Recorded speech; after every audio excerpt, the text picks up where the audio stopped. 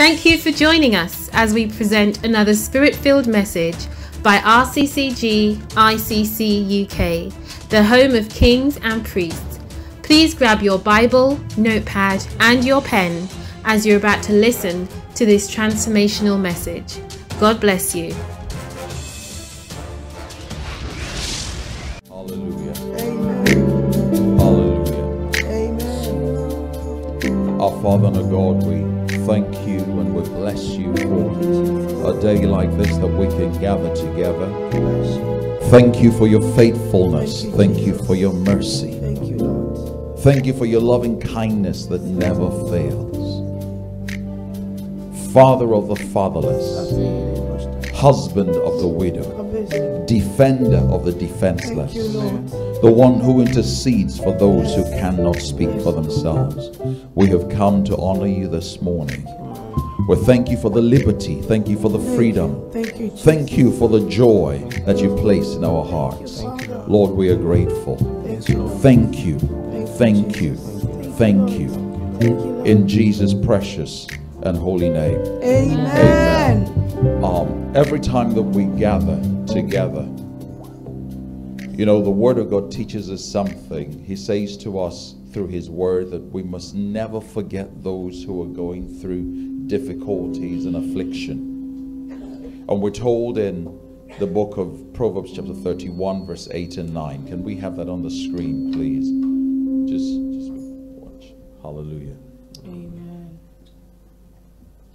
The Bible says, um, Can I have my translation, please? Yeah. Hallelujah. It says, What? Open your mouth For the for the dumb. Those, dumb here means those who are unable to speak for themselves. For the rights of all who are left desolate and what? Defenseless.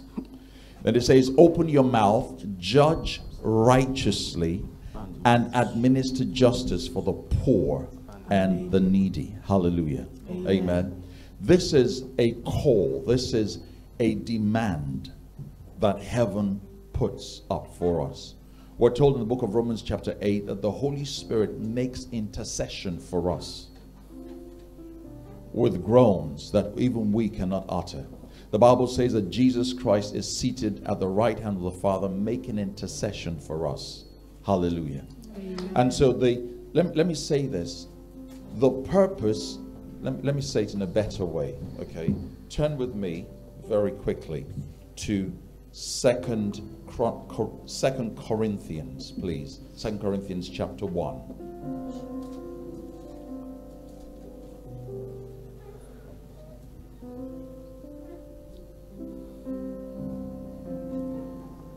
Second Corinthians chapter 1, I read from verse 3. Hallelujah. From verse 3. Could you put from verse 3, please?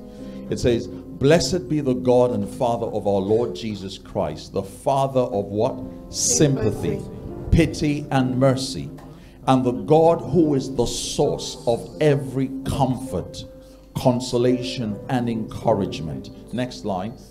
It says, Who comforts and consoles and encourages us in every trouble, calamity, and affliction, so that we may also be able to comfort, console, and encourage those who are in any kind of trouble or distress.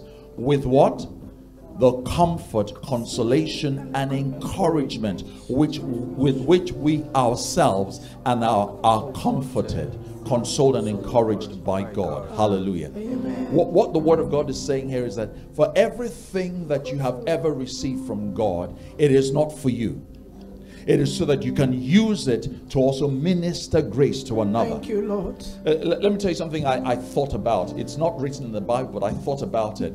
I have a sense in my spirit that the man who was called the Good Samaritan, that he had been in difficult places in him in his own life.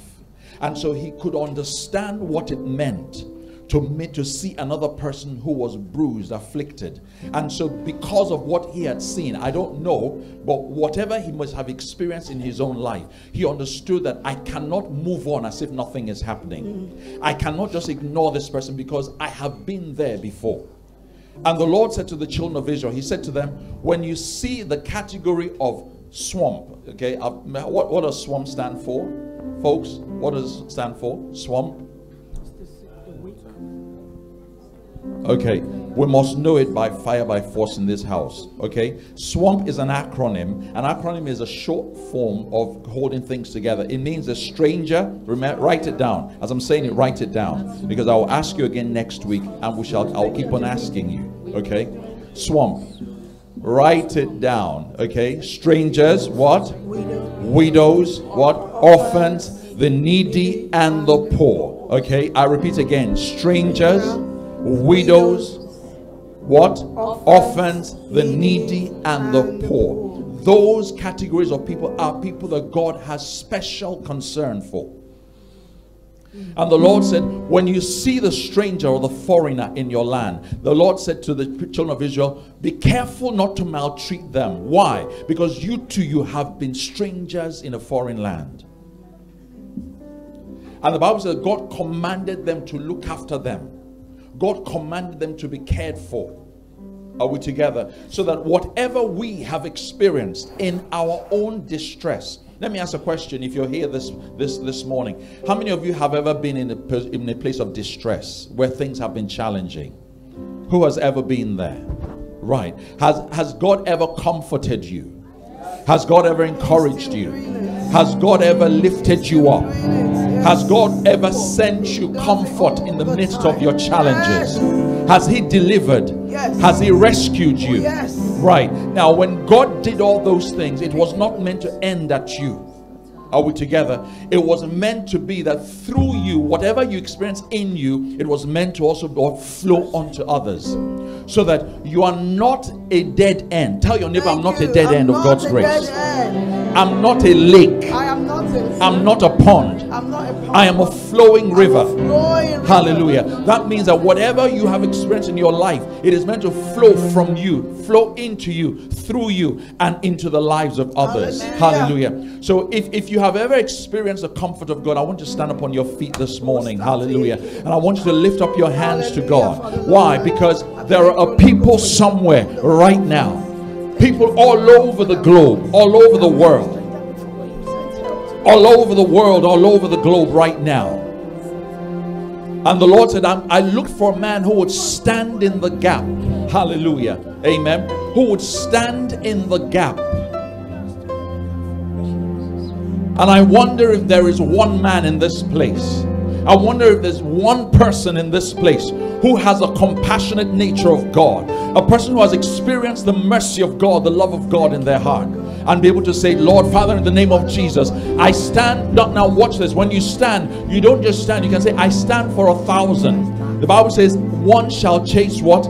a thousand and two what ten thousand so that even if one person has experienced comfort father in the name of jesus through me may a thousand may two of us chase ten thousand may two of us stand in the gap hallelujah for ten thousand in the name of jesus. If there's somebody next to you i want you whether you want to hold hands or you want to face an agreement and say together in the name of we stand right now for 2000 10000 lord god this morning. Lord we stand in the gap for thousands right now in Ukraine. Right now, Father, in the name of Jesus, we lift up Ukraine as a nation before you, oh God. Of people who are experiencing pain, discomfort right now. Lord, the cruelty that they're going through. Father, in the name of Jesus, we lift up our voice right now with the comfort that we have experienced in our own lives, oh God. Father, we lift them up before your throne of grace. We stand in the gap for thousands. We stand in the gap for millions this morning, oh God. And we ask that your mercy and your grace, oh God, will rise up this morning. Hallelujah. We stand here tonight. I mean, this this morning, oh God. Lord, you said that when the enemy comes in like a flood, you will raise up a standard, you will raise up a barrier. Father, this morning in the name of Jesus, we keep not silent. Hallelujah. We lift up our voices up to heaven and we cry out to you, Heavenly Father, Lord, that your mercy, your mercy, your grace, your loving kindness, oh God, will come down like rain this morning. Hallelujah. Lord, that you will comfort, strengthen, uphold, oh God. Lord, the people of Ukraine, Lord, who are going through incredible challenges right now. Homes decimated, Lord God, people's houses, people's livelihoods, people's families torn down to shreds because of the decision of one man. Father, in the name of Jesus, arise, O God, from your resting place. Hallelujah. Arise from your resting place. Arise from your resting place. Hallelujah.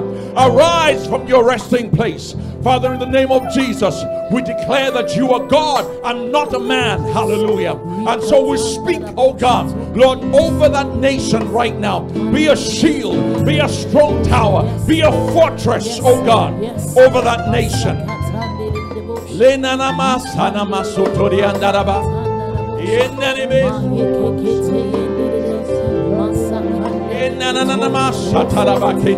Lord, Church of God, raise up your voice. The Bible says that I heard their voices. Hallelujah. Lord, this morning we will not be silent. We raise our voices. We raise our hearts to you. We raise our hands to you, O God. And we say, let the war cease, O God. Let the war cease, O God. Yeah,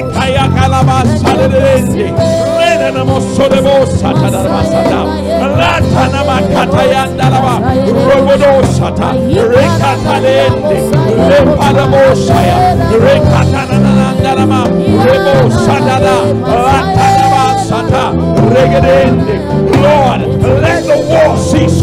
Let the war cease. We say stop in the name of Jesus.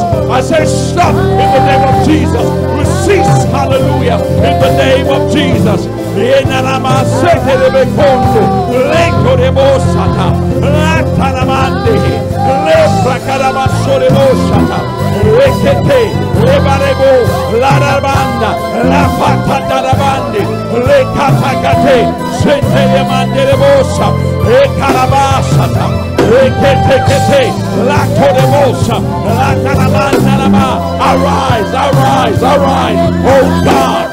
arise, arise, arise, arise from your resting place.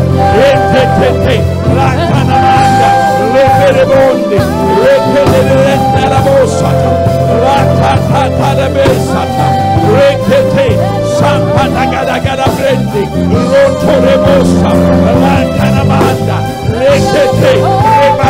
rabosa, rekadesa,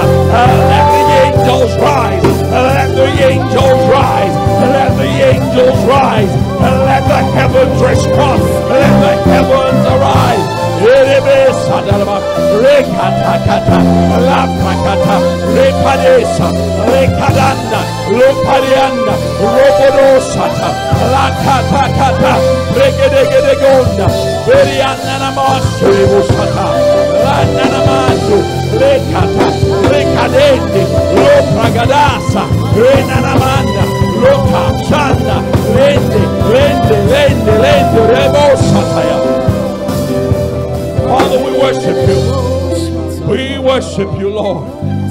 We worship you, Lord. Yanananamosanyandelebe. Lorobosata. Lanamandelebos. Our Father our God, in the name of Jesus, arise from your resting place, O God. Stretch forth your mighty hand. In the name of Jesus, we push back the enemy. Hallelujah. We push back the enemy. Hallelujah. Hey, we push back the enemy in the name of Jesus. Father, we decree peace. We decree peace. We decree peace over Ukraine. Hallelujah. Ah, let the scepter of the wicked be broken, oh God.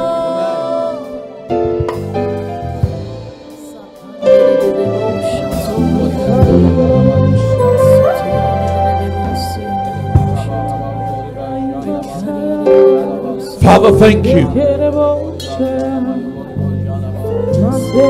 I told you, the Holy Spirit made certain things clear to me. And it was from certain things my dad used to say to us when we were younger. My dad would say to you, You are not rich if your brethren are poor. The proof of your wealth is the impact it has on your brethren. Because if you're the only one who is rich and all your brethren are poor, then you're a wicked person. And the Holy Spirit used that to teach me something that my peace is not for me. If my peace does not bring about peace for others, then that peace is nonsense. If my joy does not bring joy for others, then how wicked it is.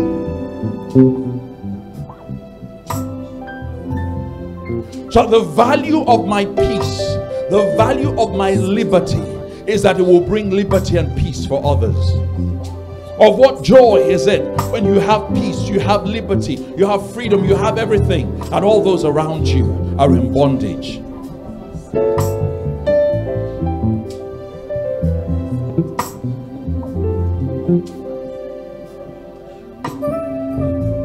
Let me tell you something. According to the Word of God in Genesis chapter 1, the Bible says that the that the God created the heavens and the earth, and the Holy Spirit was brooding over the earth.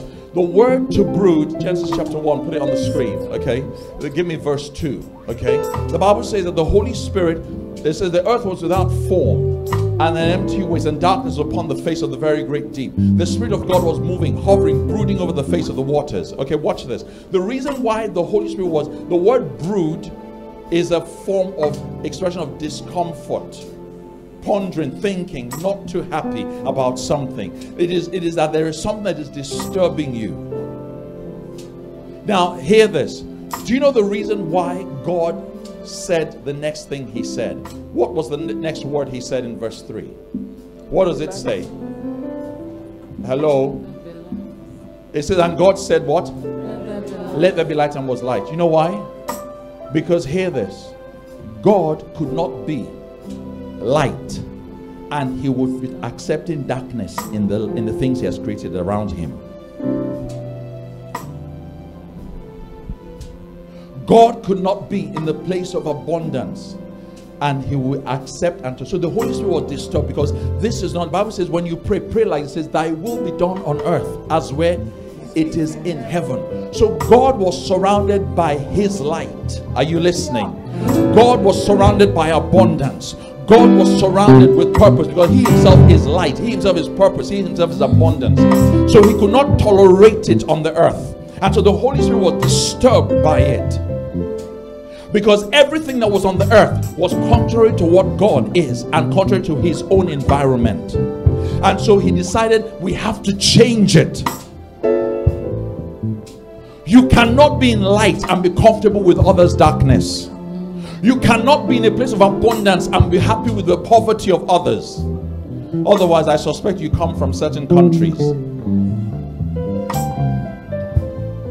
Your poverty is revealed by what you can enjoy and accept around you.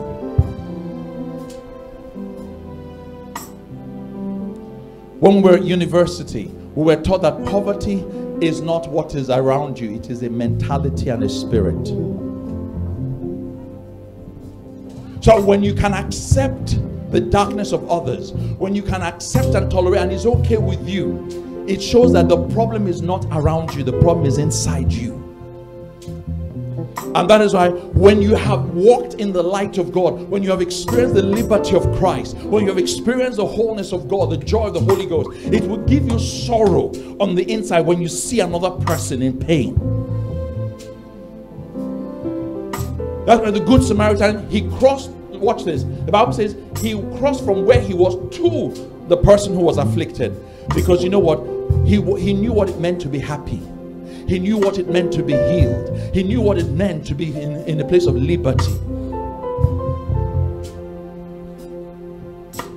I cannot tolerate the pain of others because I have known the peace and the joy of the Holy Ghost. I cannot sit back and be comfortable with the destruction of others when I when it is well with me. And so for the last time, we're going to say, Father, with the peace that I have experienced, with the joy that I have experienced. Lord, with the comfort I have experienced. Comfort that I have Lord, I release it now to the people of Ukraine. release it now I release it now using Ukraine even as a point of contact for all those around us, all the nations around us.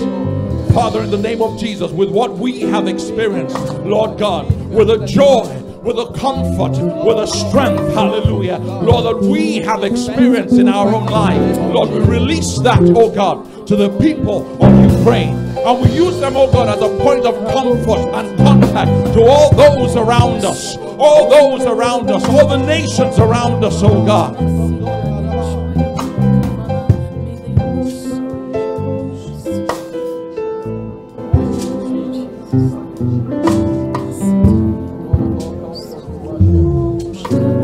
Father, we say thank you.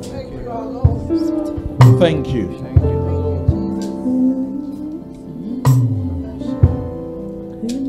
Thank you.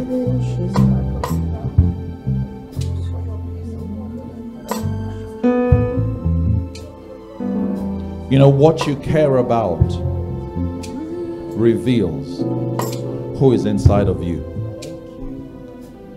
Write it down. What you care about reveals who is on the inside of you. When God dwells on the inside of you, your heart begins to care about the things that God cares about. I discovered during the week a revelation about idolatry. The word idolatry comes from I. If only thing you care about is yourself, then you're an idol worshiper.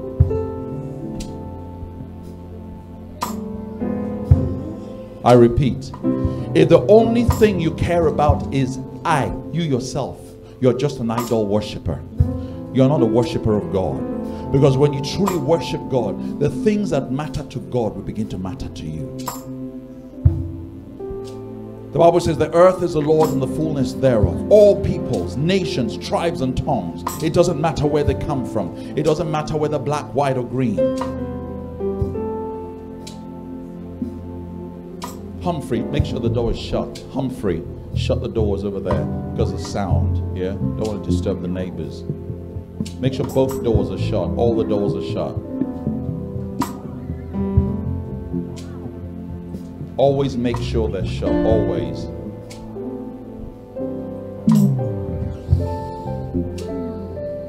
If you're an idol worshiper, all you care is about me, myself, and I.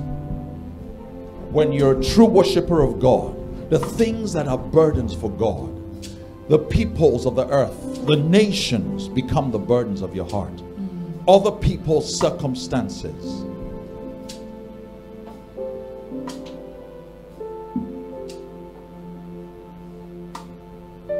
Father, in the name of Jesus, deliver us from idolatry.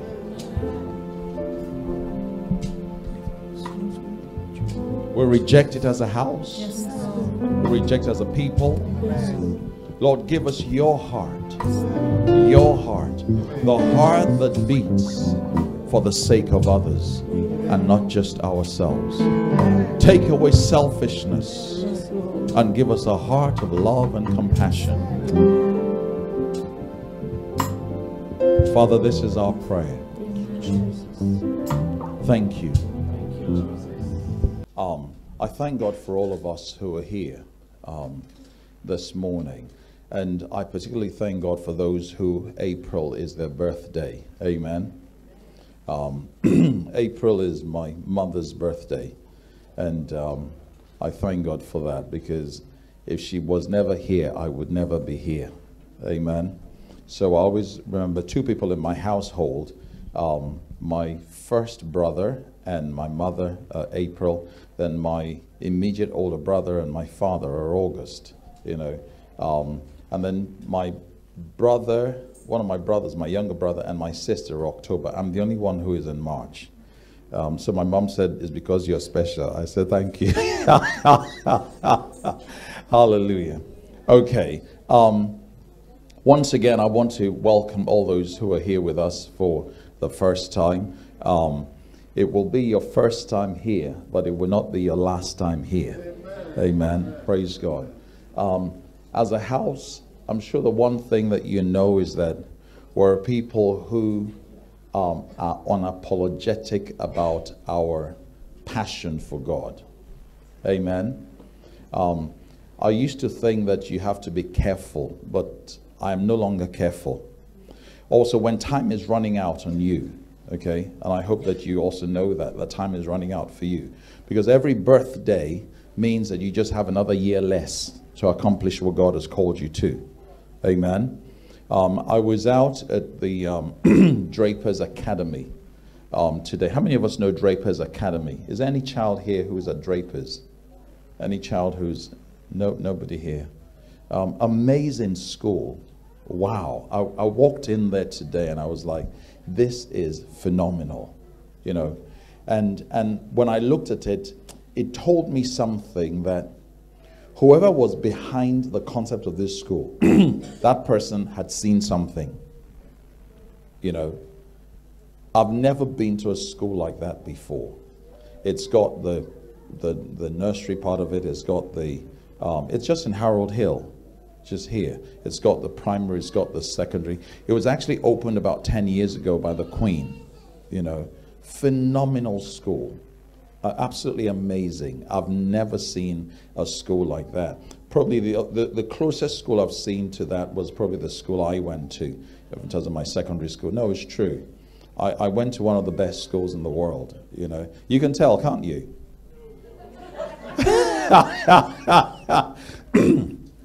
Let me tell you, uh, I can stand here and say that I went to one of the best schools in the world.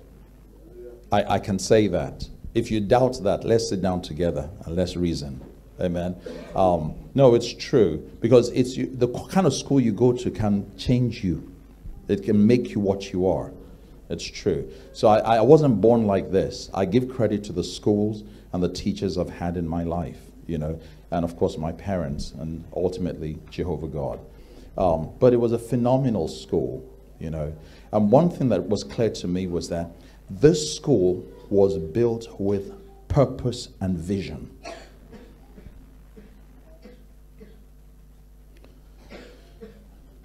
Sorry, darling. Yeah.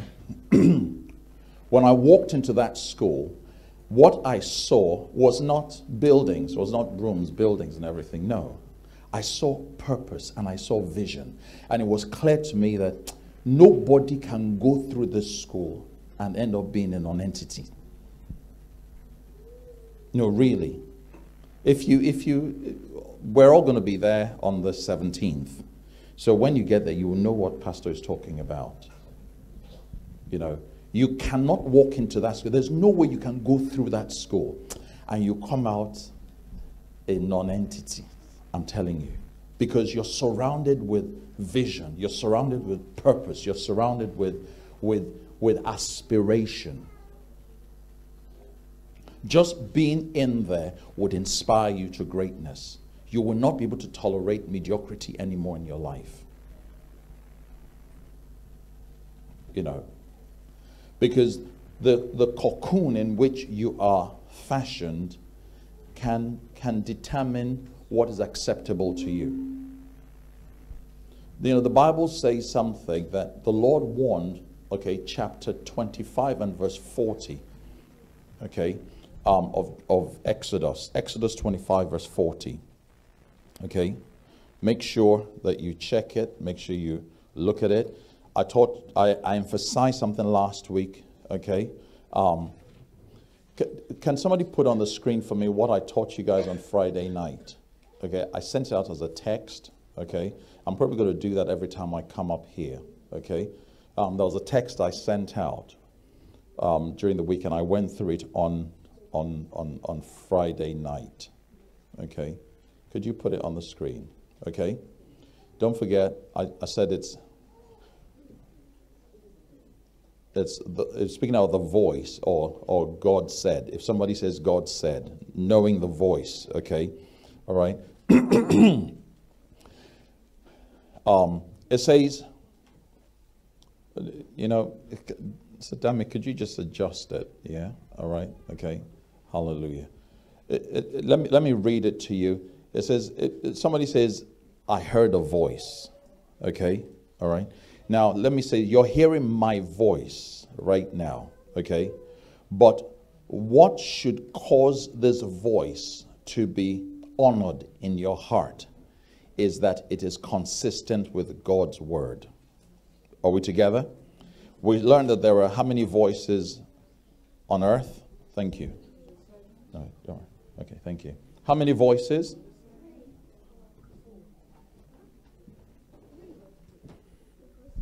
Is it a guesswork? Okay. So, Coco, how many voices? Oh, how many voices? So, how many? Four. Okay, what are the voices? Okay, there, there's first of all, there's your voice. Okay, are you listening? Okay, one. These are the four voices that that you would that you would get to hear. Okay, all right, generally, and then I'll tell you what the the, the other one is. There's your voice. Okay, there is the voice of men, people. Okay, there is the voice of the world. Okay, that speaks out there. Then there's a voice of Satan.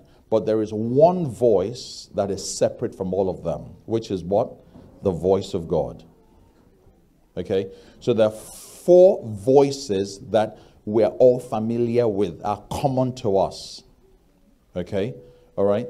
And then there is one which a man has to learn and has to develop a relationship with which is the voice of God. So on the on the left on the right hand you have the voice of God and on the left hand side you have the four voices which is your voice. Okay? Your voice can speak to you. Are we together? Okay? Then you have the voice of people around you. Then you have the voice of the world system. The world system has a voice. Okay? There's a voice of the world. Okay? And then there's a th- last voice, which is the voice of Satan, okay, that speaks directly. But he speaks through these four voices. So Satan can speak into a man's mind, okay? Satan can speak through men. Satan speaks through the world system, okay? And also, of course, he speaks directly to people, okay? The Bible tells us all this. But there is one voice that you and I that would deliver you from those four voices, okay? Only one voice can deliver you from those four voices. All those voices, four, those four voices can be damaging and destructive to your life. Are we together? Yeah? But one voice, which is the voice of God, is the voice of victory, the voice of deliverance, the voice of life. And it is important that you and I must master and know this voice of God. So that irrespective of what is being said, who is saying, you must be able to discern which voice. Okay? Now, the relationship you have with a person will determine how well you will know their voice. So there are people who I don't, uh, let me tell you, there are people who I know when they call, I'm not asking, hello, who is this? Okay? I don't need to ask them because I know them and I know their voice. Okay? If you don't know somebody, you cannot know their voice. If you don't have a relationship with a person, then your voice will not. Even there are even times when people try and disguise their voice. Nicole's dad, every time he calls me or I speak with him, he, he tries to play tricks on me by disguising himself, but he can't because I know him. So no matter how he disguises his voice, I can tell. I say, Papa, that's you. You know, sometimes we, we mess about until um, we, we catch up each other and so on. Okay? Um, and, and so it is important that you must know the voice that is speaking. Okay? And irrespective of what platform, what did um, Isaac say to Esau? No, sorry, yeah, say to, let me go back. What did Isaac say to Jacob when he came to him for the blessing? Pardon? Yeah. He said to him, hmm, this is the voice of what? But I can, pardon? What all he was feeling, okay, all right? So he was presenting himself as who? Esau, okay? But the voice that was speaking was what? Jacob. Okay? Even though Esau, I mean, Jacob came to him with what? Is the skin of what? An animal. Okay. Boy, that guy must have been very hairy, isn't it? Yeah. All right. Um, for, for them to think that. okay. So he, he could. Then he said, "Come near, come near." He could smell him because he had smeared himself with the scent, isn't it? All right. Um, but the voice that was speaking was, and so because he went with what he was feeling, he misunderstood and mistook the voice. Are we together? Okay, so he says, So Jacob went near to Isaac and his father and felt him and said, The voice is Jacob's voice, but the hands are the hands of Esau. Okay, and I, I want to say this, okay. It is vital that you understand the voices around you, the nature of the voice, the character of the voice, because behind every voice is a spirit. Are you listening? Yeah? Behind every voice is a spirit. And behind every spirit is a purpose and intention.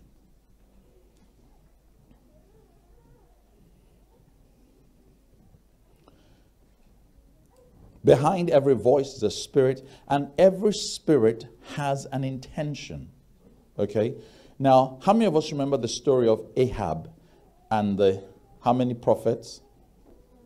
He had 400 prophets around him, isn't it? All right? Okay, he had so many prophets around him. Okay? And the Bible says that there was one he hated. Who was the one he hated? Pardon? Did you hear from Pastor T? See, that's why it's good to sit near men of God. You, you had the correct answer. Hallelujah. Okay? So he, had, he was surrounded by all sorts of prophets. He had 200 prophets who would tell him all sorts of things around him. Okay? And the word of God says that when Jehoshaphat came to him, okay, please listen, the Bible says that he surrounded himself with all the prophets. And all those prophets, when, when he went to go to war, what did the prophets around him tell him? He, they told him, Go, go, go, go, you will succeed. Ah, God is with you. Yeah? Pardon? That, aha. Auntie, you are, in the spirit. okay? Just like um, King Putin has surrounded himself with all sorts of prophets who, who told him, Go, go, go, go, you will have victory, isn't it? Go, you will have victory. The world is, will be with you. The Lord is with you. Okay? When you arrive there, the people welcome you with open arms. And that was the lie that they told him. Okay? And then the Bible says that God said, okay, watch this, okay? God said up in heaven that there is, he said, ah, we need to go and deceive Ahab. Who will go for him? Who will go for, for us? And the Bible says that, careful, the Bible says that one lying spirit came up and said, I will go. And I will enter the mouth of the prophets uh, and I will deceive. Shall, shall we go through it? Okay. Okay, let's, let's read together. Yeah. Then Ahab, king of Israel, gathered the prophets together, about 400 men, and said to them, Shall I go against Ramoth Gilead to battle, or shall I hold back? And they said, Go up, for the Lord will deliver it into, your, into the hand of the king. Next line. Okay. Jehoshaphat said, Is there not another prophet of the Lord here whom we may ask? Next line. Okay. Ahab, king of Israel, said to said to Okay, praise God. Who will read for me? Daisy. Yeah, where's Daisy? Uh, read for me. Thank you. Give her a microphone. Okay. Um, while we unfreeze. Okay. So Ahab said, okay, 1 Kings 22 from verse 8. All right. Uh, use your, use, your, use, your, use your personal Bible, yeah?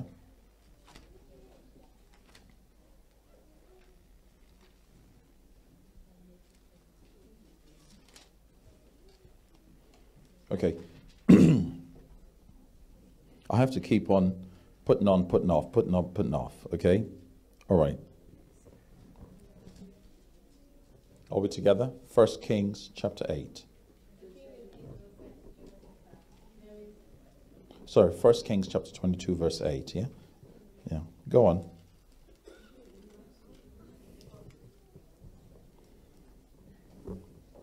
All right, let, let, let me read on while, while we're waiting, okay? It says, Ahab, king of Israel, said to Jehoshaphat, There is yet one man, Micaiah, son of Imlah, whom, by whom we may inquire of the Lord. But I what?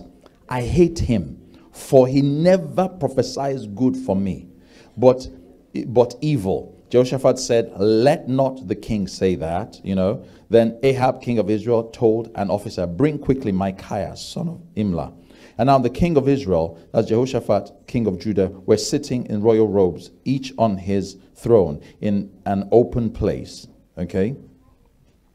Then the Bible says that um, each on his throne in an open place on a threshing floor at the entrance of the gate of Samaria. And all the prophets prophesied before him. And Zedekiah, son of Shemaiah, okay, um, made him horns of iron and said, Thus says the Lord, with these you shall push the Syrians until they are destroyed. And all the prophets agreed, saying, Go up to Ramoth Gilead and prosper, for the Lord will deliver into the king's hand. The messenger who went to call Micaiah said to him, Behold, now the prophets unanimously declare good to the king. Let your answer, I pray you, be like theirs, and say what is good. Okay? Well, that is what you call duress or manipulation. But Micaiah said, As the Lord lives, I will speak what the Lord says to me. So he came to the king, that's King Ahab, and said to Micaiah, Shall we go against Ramoth Gilead to battle, or shall we hold back? And he answered, Go and prosper, for the Lord will deliver it into the hands of the king. Yeah? And the king said to him, How many times must I charge you to tell me nothing but the truth in the name of the Lord? Okay? Now, let me ask a question. How do you think that that verse 15 was said?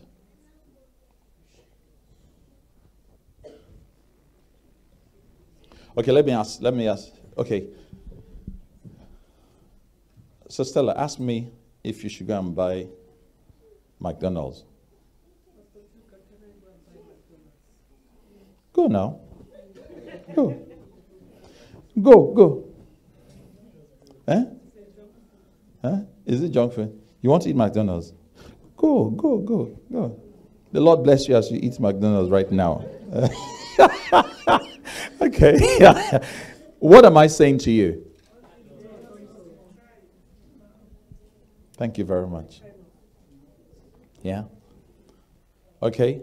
Now, Ahab was told go, but he knew from the way it was said. eh, It was go. You want to go? Go now.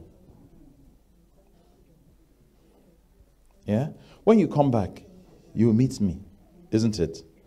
Now, a child who doesn't understand anything will say, Ah, praise God. They said I should go. Then, mommy, can I have some money now? you know, and in, in, in, in that sense, anybody who is around, any adult who is around will say, Look, eh, they're telling you, for your own good, don't go. Are we together? Okay? In, even in English language, you know how something is said, the same thing can be said, but how it is said will, will change the meaning of it. Okay? All right? So it's important, okay? So the Bible says that Ahab, when he heard it, he knew this guy is what mocking me. Okay, then he now said, No, tell me what the truth really is. What exactly is it that you're saying? And the king said to him, How many times must I charge you to tell me nothing but the truth in the name of the Lord? And he said, I saw all Israel scattered upon the hills as sheep that have no shepherd. And the Lord said, These have no master. Let them return every man to his house in peace. Then the king of Israel said to Jehoshaphat, Did I not tell you that he would prophesy no good concerning me but evil? And Micaiah said, Hear the word of the Lord. I saw the Lord sitting on his throne, and all the host of heaven standing by him on his right hand and on his left. And the Lord said, Who will entice Ahab to go up and fall at Ramoth Gilead? One said, This way, another said, That way. Then there came forth a spirit of whom I am about to tell, and stood before the Lord and said, I will entice him. The Lord said to him, By what means? And he said, I will go forth and be a lion spirit in the mouths of all his prophets. The Lord said, You shall entice him and succeed also. Then he says, Go forth and do it. So the Lord put a lying spirit in the mouths of all these prophets, and the Lord and the Lord has spoken evil concerning you. But Zedekiah son of Chenaanah, went near and struck Micaiah on the cheek and said, Which way went the Spirit of the Lord from me to speak to you? Micaiah said, Behold, you shall see on that day when you go into an inner chamber to hide yourself. And Ahab, king of Israel, said, Take him, that is Micaiah, carry him back to Amon, the governor of the city, and Joash, the king's son, and say, The king says, Put this fellow in prison and feed him with bread, that is, bread of affliction and water of affliction, until I come in peace. Micaiah said to him, If you return at all in peace, the Lord has not spoken by me. He added, Hear, O people, every one of you. So Ahab, king of Israel, and Jehoshaphat, the king of Judah, went up to Ramoth Gilead. And the king of Israel said to Jehoshaphat, I will disguise myself and enter the battle. He says, But you put on your royal clothing. And the king of Israel disguised himself and went into battle. But the king of Syria had commanded the 32 captains of his chariots fight neither with small nor great, but only Ahab, king of Israel. And when the captains of the chariots saw Jehoshaphat, they said, Surely it is the king of Israel. They turned to fight against him, but Jehoshaphat cried out. And when the captains of the chariots saw that it was not the king of Israel, they turned back from pursuing him. Verse 34, note this, very crucial. He says, But a certain man drew a bow at what venture or at random and smote Ahab the king of Israel between the joints of the armor. So he said to the driver of his chariot, Turn around and carry me out of the army, for I am wounded. The battle increased that day, and Ahab the king was propped up in his chariot facing the Syrians. And at nightfall he died, and the blood of his wound flowed onto the floor of the chariot. And there went a cry throughout the army about sundown, saying, Every man to his city and his own country, for the king is dead. And Ahab was brought to Samaria, where they buried him. And they washed his chariot by the pool of Samaria, where the harlots bathed, and the dogs licked up his blood, as the Lord had prophesied. Note that statement. The rest of Ahab's acts and all he did, the ivory palace and all the cities he built, are they not written in the book of the chariots? I mean, chronicles of the kings of Israel. So Ahab slept with his fathers. Ahaziah, his son, reigned in his stead. Hallelujah. Let me say this and probably write it down. Yeah. The voice that you follow will determine your future and your destiny. Your life, your life. Uncle Femi, make sure you write. Don't let your wife write for you. Find your pen and write for yourself. Praise God. In fact, if anybody should be writing, it should be the head of the home that should be writing more than the others. Because when you get home, I expect you to teach your family what, what you're hearing. Your destiny is determined by the voice that you listen to. Your destiny, I repeat, is determined by the voice that you listen to. The Bible says that in the beginning was the Word. The Word was with God, and the Word was God. Okay? Everything on earth is what it is by virtue of a voice. The Bible says, and God said this happened, and God said this happened, and God said this happened. Yeah? Everything that we see that is manifesting is a function of something somebody said.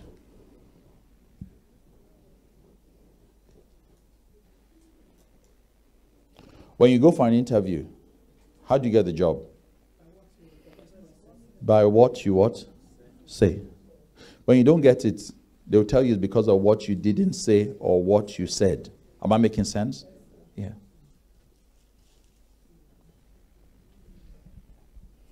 Your let me tell you the truth. Your home can scatter by what you say or what you don't say. Almost every quarrel, every conflict in a home is determined by what somebody said or didn't say. What you say, the Bible says the power of what? Life and death is where? In the tongue. And what's your name again? Taiwo. You must be, have a Kehinde somewhere. Uh-huh, okay, all right. So Taiwo. You see, let me tell you the truth. Every quarrel in my house is because of what I said or what she said. Or how she said it or how I didn't say it. Am I making sense? Yeah. Is that true for you too, your house? Yeah. Is that true? Yeah, it's true. The, the measure of your perfection, the Bible says in the book of James, is determined by what comes out of your mouth. Are we together? So that the voice, the words that proceed from our mouth, the voices that are operating in our lives, can either lead you to life or can lead you to death. Who you listen to, the voices that you surround yourself with, are critical to your destiny.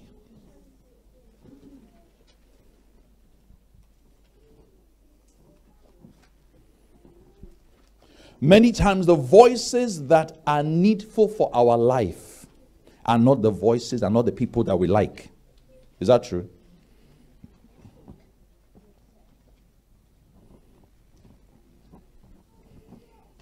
And so the Bible says here that Ahab, when he wanted to do something, okay, the Bible says that he asked his 400 people around him. And I ask you today, check the people who are close to you around you. Ask yourself, how many of them have the voice of God speaking through them?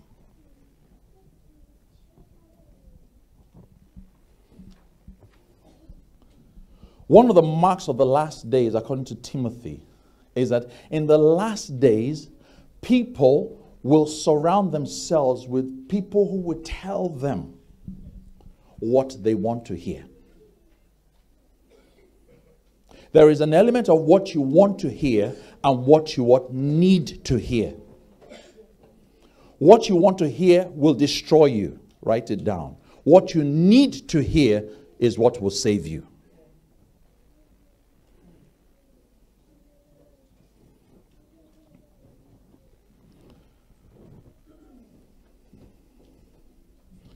Second Timothy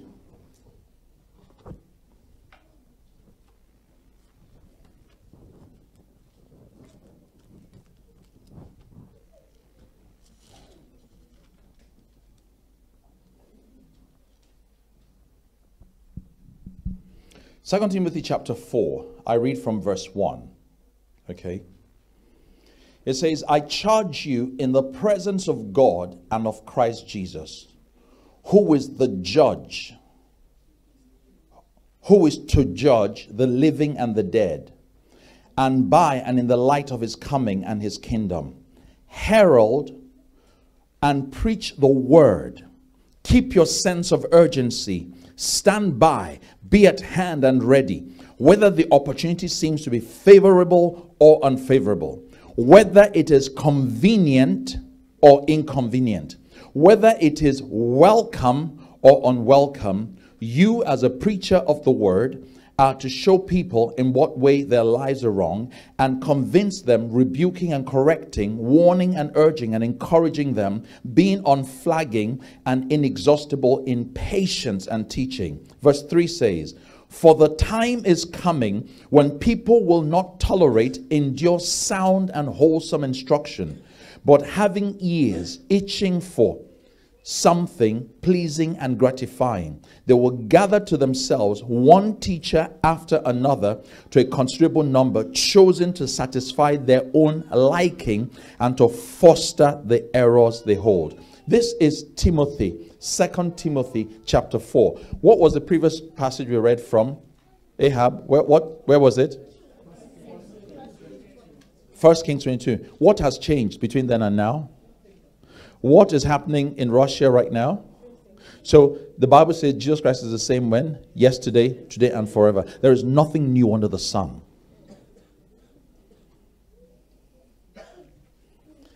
Listen, go and check. Whenever somebody's life, especially young people, eh, whenever you see a, a, a young person's life begin to go south, go and check. There are voices in their life. Every human being is spirit, soul, and body. Are you with me? The human spirit was designed to be navigated through voices. So the voices that are dominant in your spirit will become your sat navigator for life. Are you listening? So whatever voice are you this thing? You see, watch this. In a home, when everything is fine, or you're in your relationship, everything is fine.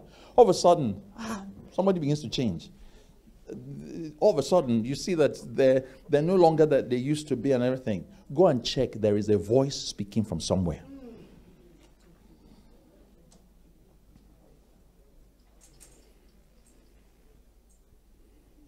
There is always a voice behind every conduct, every action, every behavior. By your behavior, we can tell which voices are dominant in your life.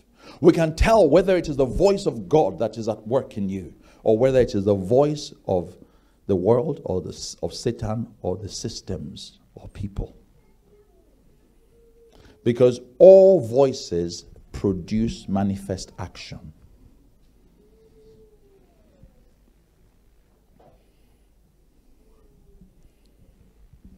Quincy, are we together? Are you taking notes?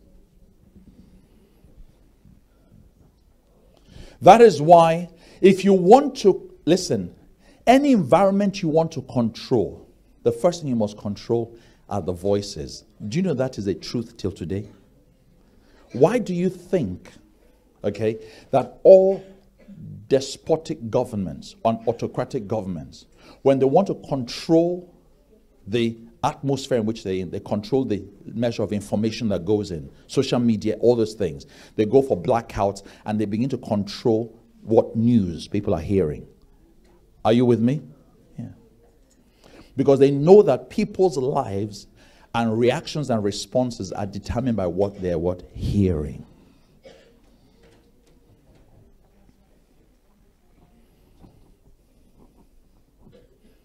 So the Bible teaches that, watch this, huh? Life comes through what is heard, death comes through what is what? Heard.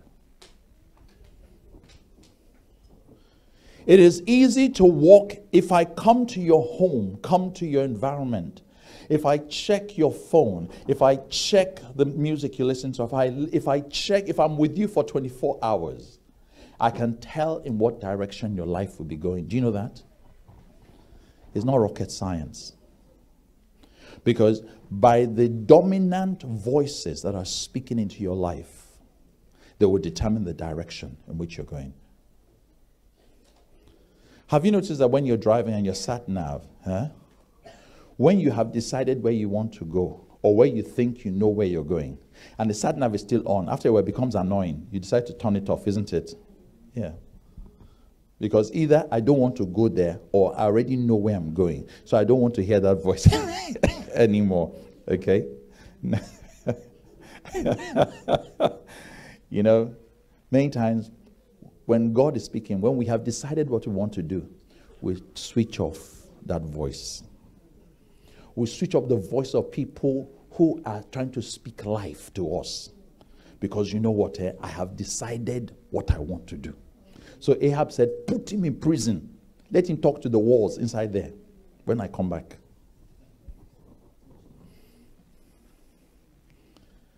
And I want to say to us, Church of God, right? Everybody you listen to, okay, you must always listen to what is the voice speaking through their voice.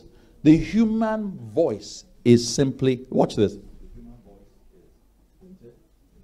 The human voice. So, what is this microphone. It is an amplifier of my voice. There is no voice in this. But let me tell you what, what it is. Yeah? Hear this. For every action, are you listening? Yeah? There is a voice that is speaking behind it. Okay, let me let me let me give you an example, okay? Just I'm just as I'm looking at you, I'm just feeling I want to slap you. Just like that. eh? I'm just eh? that I'm just hearing I should just slap you. I I want your head to scatter ten times over. Ah, What voice is speaking to me? Hello. But I, in my mind, I, I, I believe it's God, though. Eh, I, I, I, one light a lie. I believe it's God that is talking to me. Eh? Am I not a man of God? Hello, is God not speaking to me to slap her? Eh? Pardon? Why? Why are you, are you challenging me? Hello, pardon? You, you, you're bearing me witness that is God.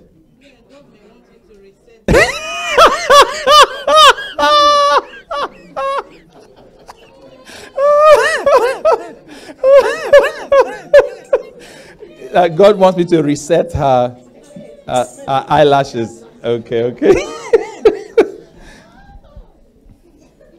So, why do you believe that it's not God speaking to me? Hello?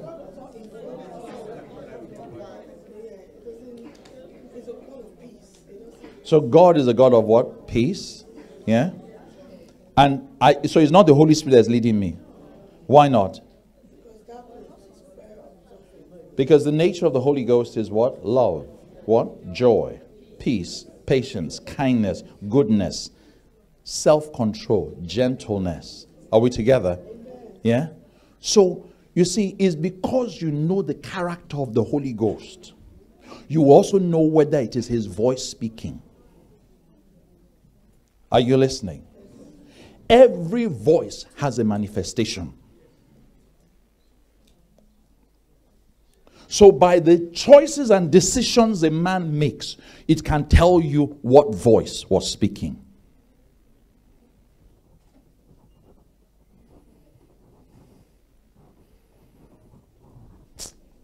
I, am feeling that the Lord is telling me I should stop going to church. In fact, the Lord says I don't need to read my Bible anymore. I, I know Him by the Spirit. Hello? Why are you laughing? That's what I believe that the Lord is telling me. Pardon? Okay. So, in short, I'm lying. Ah! She said that a man of God is lying.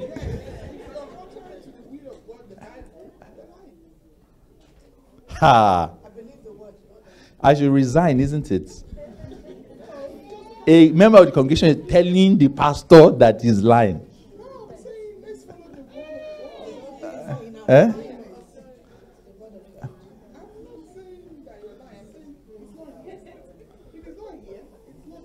Denise, your first time in church, they're telling the pastor is lying.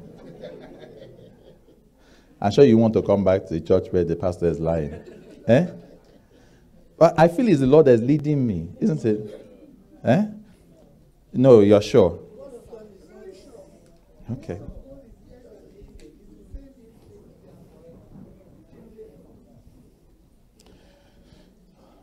You know, saints of God, yeah.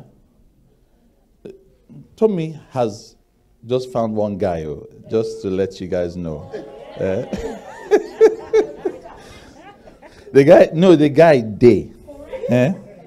He's, he's cool. He, she came to speak to me about him. And the Lord, I, and I really believe his Lord is leading her. Okay? Um, he's, he's Hindu, but he's a good guy. Uh, no, wait, wait, hold on. Are you people racist? Huh? No, the guy is a good guy. He's very gentle, he's very kind, and he has Lexus, isn't it? He drives he drives Ferrari. Eh? Pardon? They are not of equal what? What is that? We are not frying egg here. There's no yoke, yoke my foot. I the guy day. Eh? Did the Lord be with you? eh? Tofiakwa. no, but Church of God, he's a nice guy. He's tall, he's handsome. He has six pack. Eh? If you see his biceps, hey, Jesus. You know the guy is lifting Jesus up. Amen. so why why why why can't it be God? You know, no, you see, we're laughing here. Eh? Tommy is, is one of the worship leaders, respectable worship leaders in, in the house. Even anywhere. Any church she sings, people, the anointing of God falls upon her. Isn't it? So, how can she be wrong? Hello? Can she be wrong? Why, why can she be wrong? She's a worship leader. Pardon? She's human. So? Oh.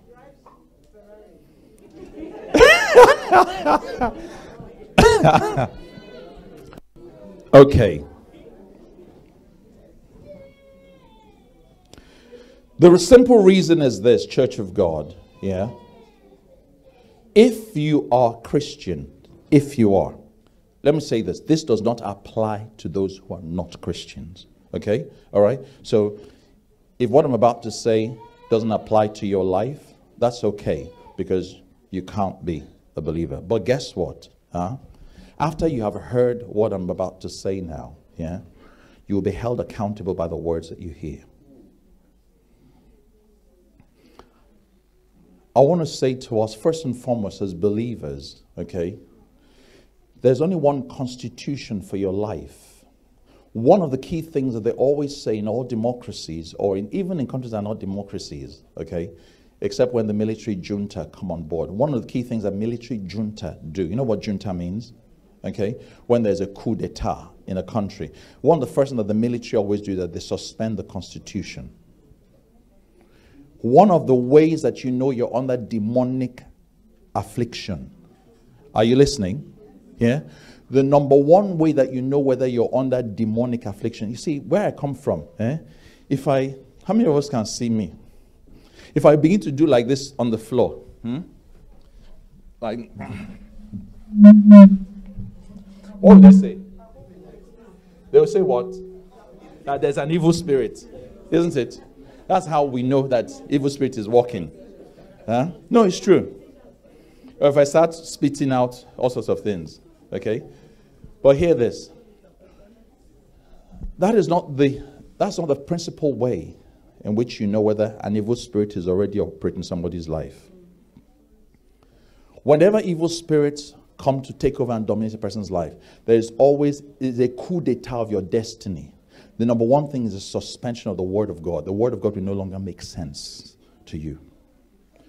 You will no longer be ruled by the constitution of heaven. Are you listening? And the constitution of heaven in every civilized country, listen, there is a constitution that determines what is acceptable and unacceptable in that country. So they will say in this country, even in parliament, they want to pass some laws. The first thing they will look at and say, is it constitutional? And if it is constitutional, it means that yes, it is in line with the laws and the decrees of this land. Are we together? When you say it is unconstitutional, that is, it is not consistent with our const- constitution. Now, the very first thing is this when the enemy moves into a person's life, the first thing he does is he suspends the word of God in your life. The word of God will no longer mean anything to you. It will no longer govern your choice or your decisions. You now become independent of the word of God. When the word of God is, person say, eh, I know that what I say, but you know what? At least I know what I want to do. Or the next thing is to discredit the word of God and for you to say, is it not written by the by men?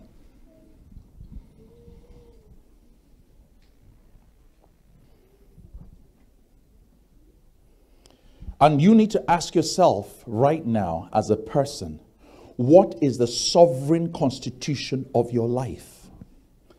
Is it God's word? Or is it your mind? Or are you doing your own thing? Everywhere God's word is suspended, do you know what happens? Satan takes dominion. It may not be immediately visible.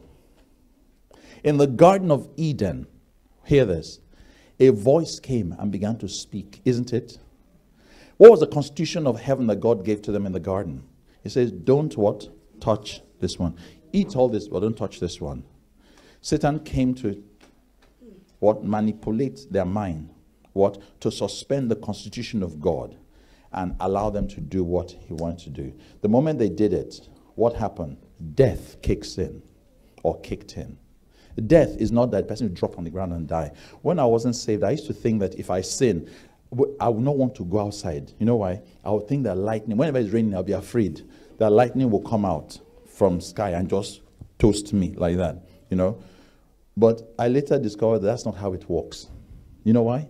The moment we sin, the law of death kicks in and begins to operate underground before it becomes manifest outside.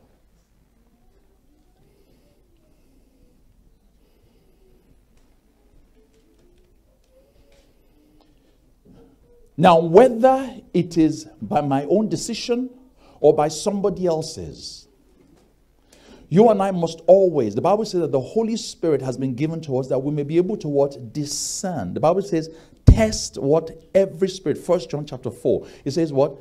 First John chapter 4, what? Test what? Every spirit. And in First John chapter 4, when it says test every spirit, how do you test the spirit that is speaking? It is by what? Checking whether it aligns with what? God's word. Now, if you don't know what is in God's word, then you're a candidate for deception. And one of Satan's strategies to make sure that what this, you don't have enough time, you're too tired, you're too busy to spend time in God's word. Because the Bible tells in Psalm 105, it says what? That watch this. Okay? It says that what? The word is a lamp unto my feet and a light unto my path. Watch this. Psalm 17 and verse 4. Psalm 17, verse 4. It says, By the word of your mouth I avoided what? The path of the destroyer. Watch, let's read it together. Look at it. It says what? Concerning the works of men, by the word of your lips, I have avoided the violent, the ways of the what? Violent, which is the paths of the what? Destroyer. So the word of God will knows God knows where the destroyer is waiting for your life and my life. So when you follow the word of God, the word of God will say, Here, this is the way, what? Walk in it. Isaiah chapter what? Is it? Jeremiah? What does it say? Isaiah 30, verse what? 21. Okay? It says what? You will hear a voice saying to you, This is the way walk. So the Holy Ghost will tell you, There's destroyer there. Go this way.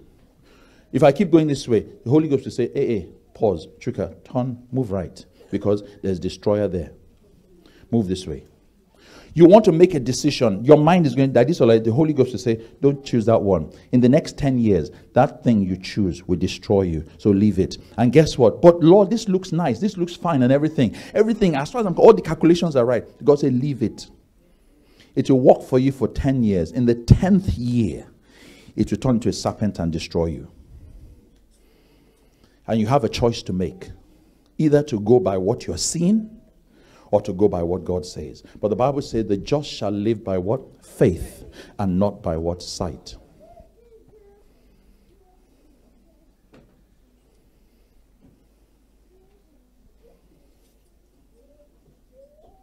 And I'm saying to you, Church of God, in these last days, okay, the destiny of men will be determined by the voice you're listening to. Let me be honest with you. Let me tell you, I have respect for Wizkid. Do you know that? Um, it, eh, it eh, was the, Adekunle, what's the other guy's name? Adekunle Gold. Ah, those guys, they can sing. Do you know? You know it's true. Yeah. Let me tell you, I even have respect for Beyonce. No, it's true. You're shocked, I'm telling you. No, no. They're gifted, they're talented. Eh? What was is a Burna Boy? Eh? Ah, no, no. Yeah? Praise God for them. You know, because let me tell you, what they're displaying is, is from God that they have their talent. Don't shoot them down and say no. They're, they're not. It's God. The, the devil didn't create anything. The devil is not a giver of anything. The, the devil is a taker, never a giver. So whatever gift you see operating is from God. Okay? But because they don't know God, they're misusing the gift of God for which they will stand before God and give an account. Am I making sense? Okay? But just want to mention these guys because thank God for them. But their voice, by the grace of God, does not control my decisions, my choices, and my, and my life movement. Am I making sense? So I have no business going to watch them. I have no business going to listen carefully so I can master all their things. Because the truth is, if I follow what they're saying, ah, I can't be your pastor anymore. And if you carry their words into your relationship, you will scatter your life. Am I making sense? Because they're using, they're misappropriating the gift of God upon their lives. Are we together? Yeah? So, which voice must control my destiny? The voice that must control your destiny must, number one, must originate from the Word of God. Every voice that comes into your life through whoever, even through your wife, even through your husband, even through your children, whoever it is, you must always do a double check. Test, isn't it? Test it. Is this in line with God's word?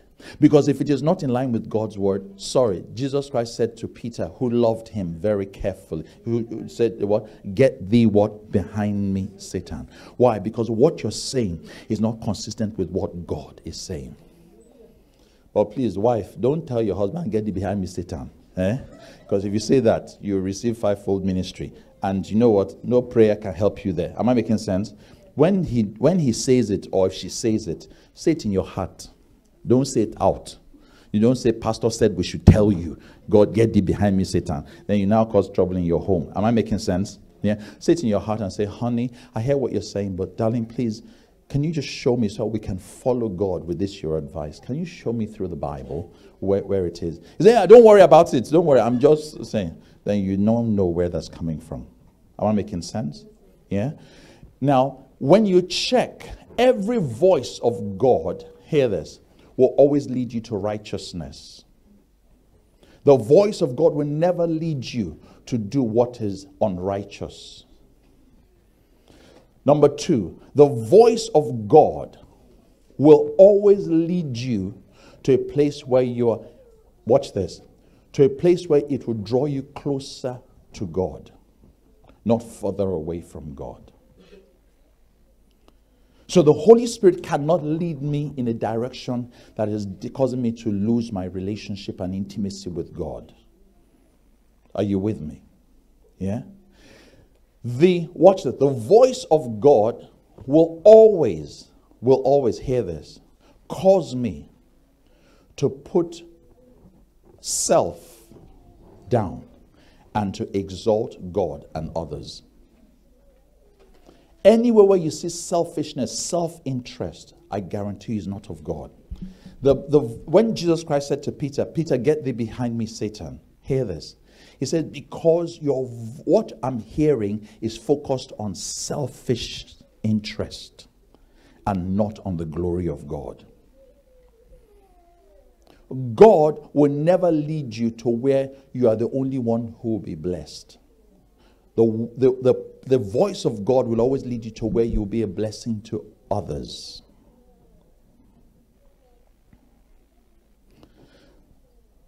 Fourthly, the voice of God, hear this, okay, will never lead you into sin.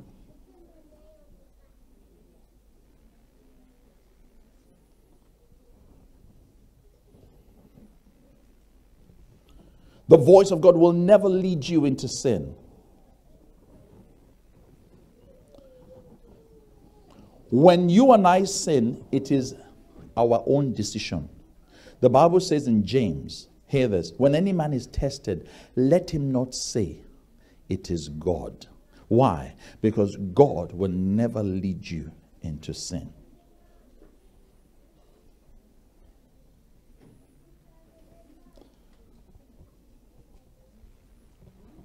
Let me close with this. Let me run through this. Can you put that script on, on for me, please? And, and I'll close with this.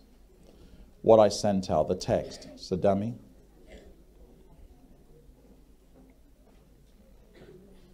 Are we together?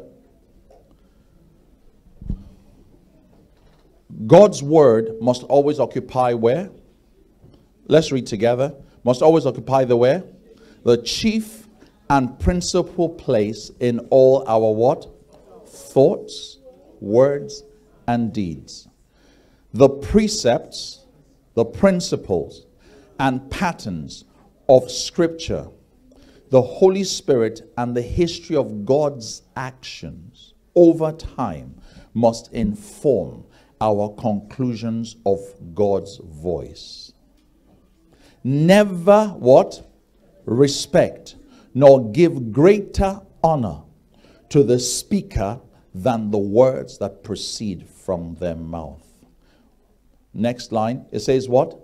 A man's what?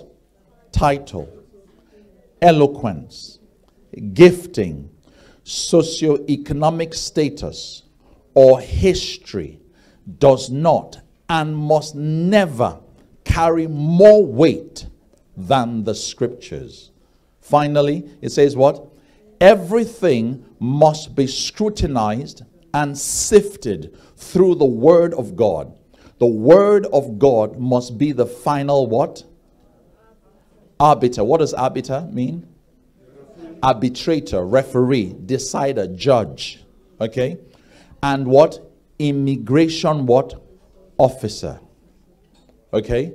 Of what is what? Acceptable in our hearts and minds, even if an angel is the what? Conveyor of the message. Galatians 1 it says what? Even if an angel comes to Tom and tell you something that's contrary to the word of God, which means that I had a dream. Ah, in that the angel of my father's father came and spoke to me. That's why I know it's God. But check this is it in line with God's word? No. That means that that angel was a devil, isn't it?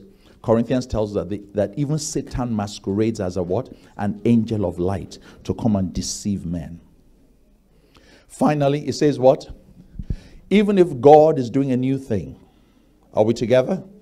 Yeah? Ah, this is a new thing that God is doing. Watch this. He will never do anything that violates his what?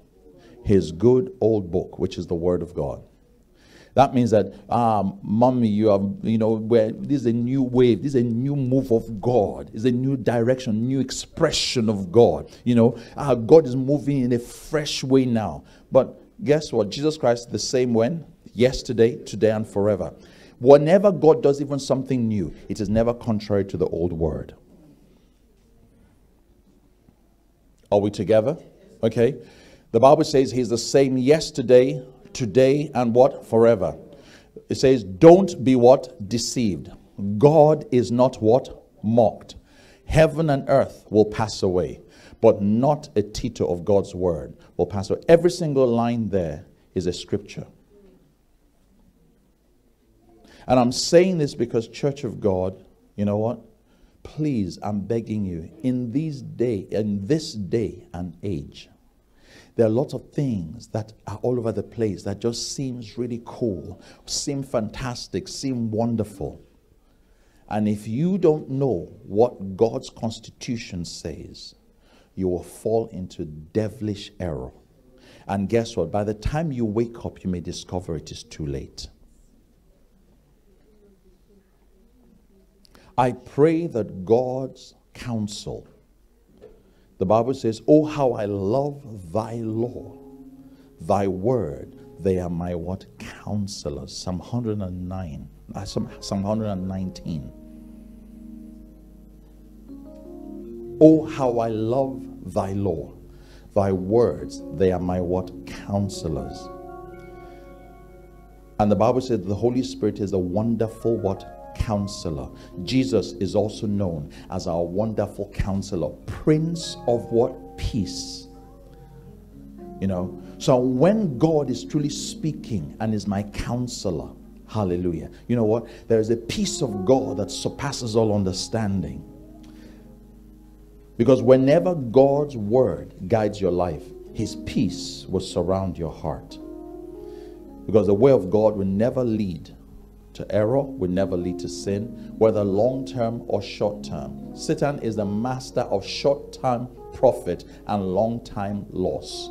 Let me repeat short term profit and long time loss. That is Satan. But in God, you may have a short term loss, but the long term will be joy, peace. Because the kingdom of God is of what? Righteousness, peace, and joy in the Holy Ghost. That's always the outcome of all voices that are of God in your life.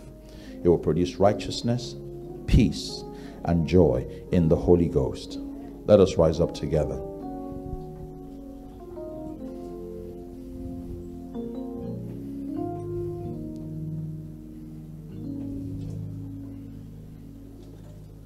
Speak to my heart, Holy Spirit. Uh, it's quiet. You can come now. You can finish it off for me. Donnie McClurkin did this song several years ago, you know, and it's called Speak to My Heart.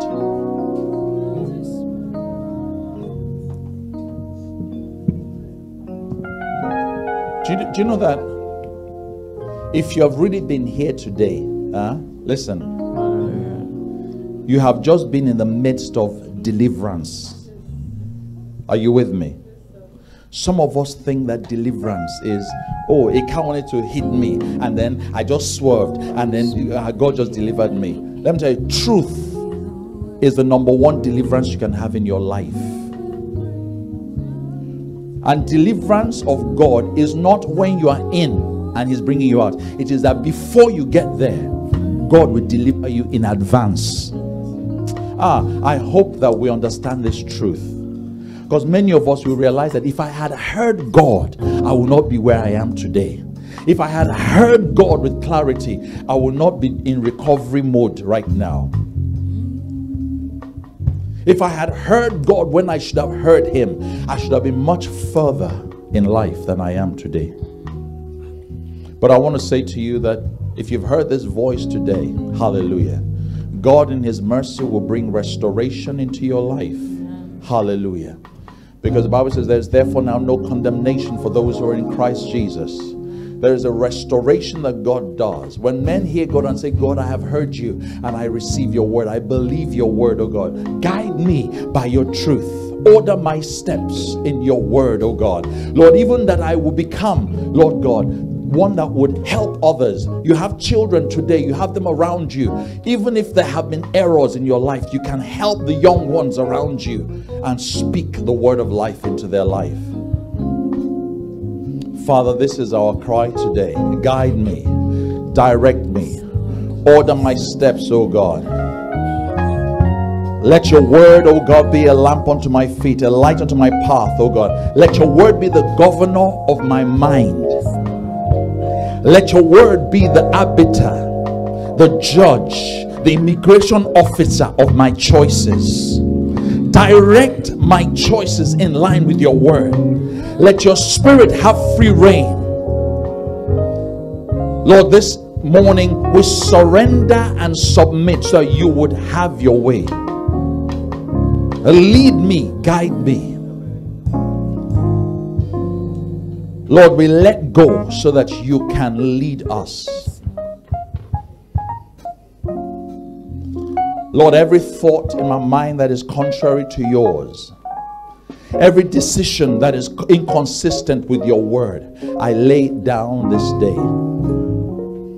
Every reasoning that is contrary to your plain truth, Lord, deliver me from it. Lord, you said Satan comes to build fortresses in our minds. Lord, every fortress of a lie, every fortress of untruth, every fortress of deception that the enemy, even if it's a foothold, even if it is a seed, Lord, remove it from my mind. The Bible says that He has called us to tear down, pull down, uproot, and destroy.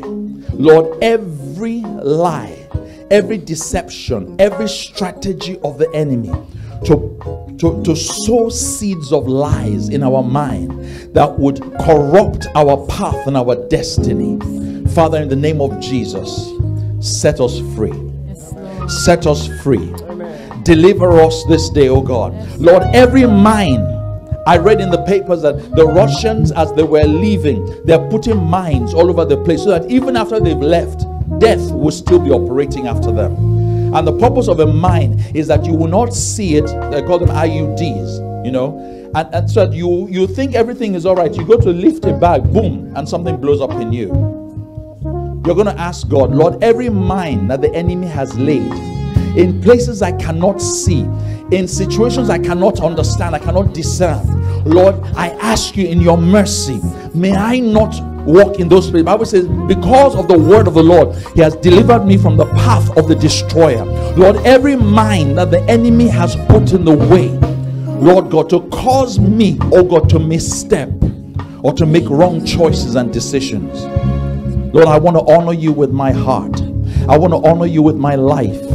I want my home to honor you. I want to live the life you have called me to. I want to walk before you in truth in righteousness.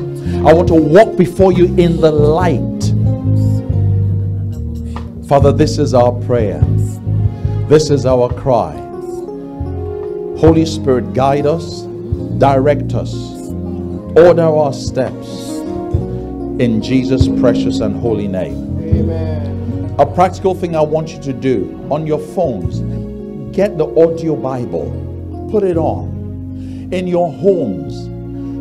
Have the Bible playing, have the Word of God, have, have, have worship music. Fill your atmosphere with the right voice. You can never rise or go further than the voice that is directing you. So you saturate your environment as you're driving, as you're on the underground, as you're traveling on the buses, allow the Word of God to just be playing. You'll be amazed at how much the Word of God can filter into your spirit and order your steps. God can never order your steps beyond His Word. Father, this is our prayer. We'll bless you, we'll honor you, and we give you all the glory, all the praise. In Jesus' precious and holy name. Amen. Hallelujah. Tell your neighbor it is well with you. May the Lord bless you, keep you, and uphold you. Hallelujah. Thank you for listening to this message. We hope that it has been a blessing to you. For counseling, prayers, or to fellowship with us, visit us at RCCG ICC, rear of 31 to 35 High Road, behind NatWest Bank, Romford, Essex, RM6 6QJ, United Kingdom.